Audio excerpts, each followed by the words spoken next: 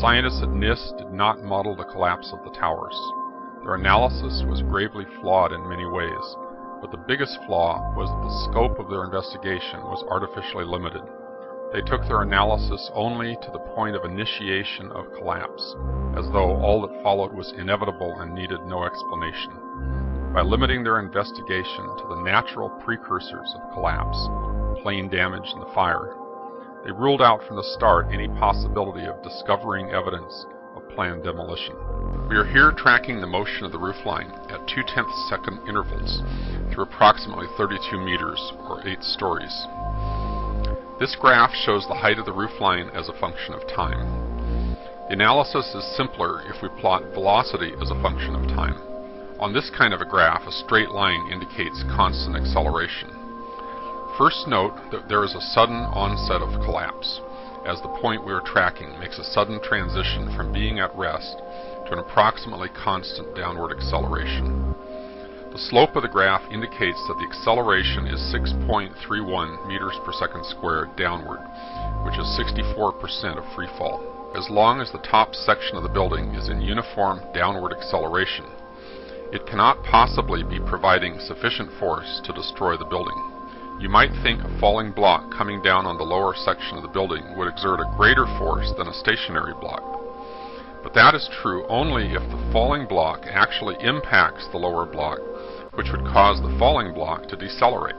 The only way the falling block can continue to accelerate smoothly, as we see here, is for the lower section of the building to give way without significant resistance. The top section of the building, whatever its condition, cannot possibly be destroying the lower section of the building. The destruction of the building must be caused by something else. There's a tremendous amount of falling debris, but under the canopy of debris, do you see the rapid sequence of explosive ejections of material? Some of the jets have been clocked at over 100 miles per hour.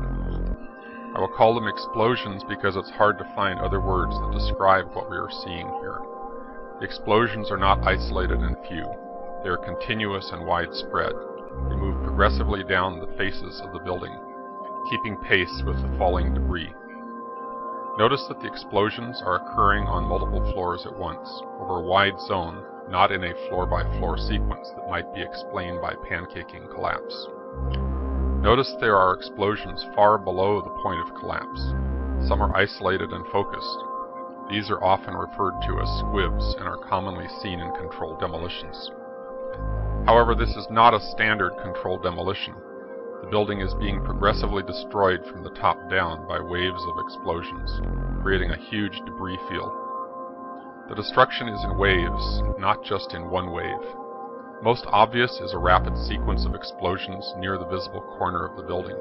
But simultaneously we can see another wave of explosions much further down the face of the building under the canopy of falling debris. Notice that the concrete is being forcefully ejected outward from the sides of the building, already pulverized to dust. Notice that embedded in the dust clouds are huge girders and entire sections of steel framing that are being hurled out of the building. The horizontal speed of some of the girders has been clocked at over 70 miles per hour. What could hurl heavy girders with such force and give them such speed? Some people have suggested that the weight of the tower crushing down on the girders caused them to flex and they sprung sideways by a spring action. But we are not seeing isolated jumping girders. We are seeing a major fraction of the mass of the building, steel, concrete, office furniture, and the remains of human beings, reduced to small pieces of rubble and fine dust, and being explosively ejected in all directions. Bone fragments are found on the roofs of adjacent buildings. The bones were not crushed in the falling mass, or they would have been trapped in the debris pile. They were pulverized along with everything else and blown out in all directions. You'd get down below and you'd see molten steel, molten steel running down the channel rails.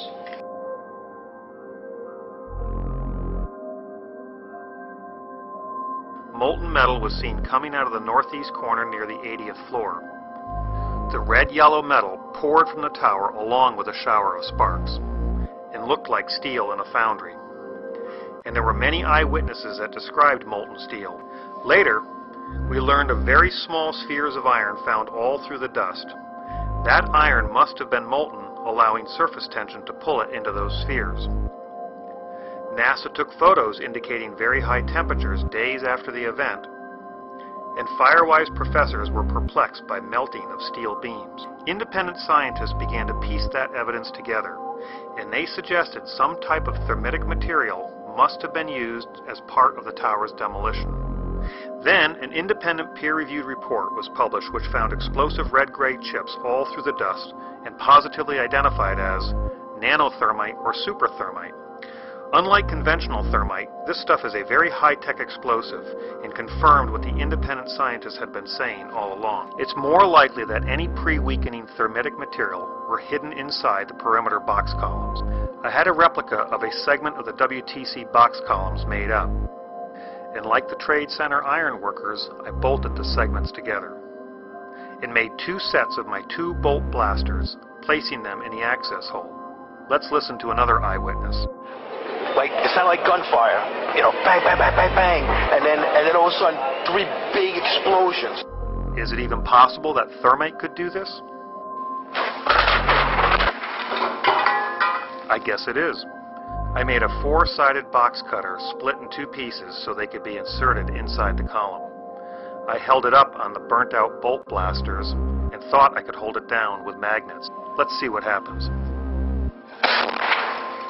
I think my box cutter blew about 30 feet up, consuming valuable energy and trimming my tree in the process. Nevertheless, the inside of the column was cut about three quarters of the way through. Were thermitic devices or maybe explosive nanothermite sprayed inside those box columns? I'm not sure. And I'm not sure why this handhole is so large. Or why the side of this box column looks like it's blown outward. Or why three columns have a more intense glow, followed by six columns that don't followed by another three that do. But I have an idea. But I do know that it's impossible for jet fuel or an office fire to melt steel or iron, which means the official story is wrong. Yet despite all the overwhelming evidence of explosions in molten steel, some people will still believe that this is aluminum and believe Building 7 fell naturally from an office fire. Isn't it time we use physical science rather than political science to investigate 9 11?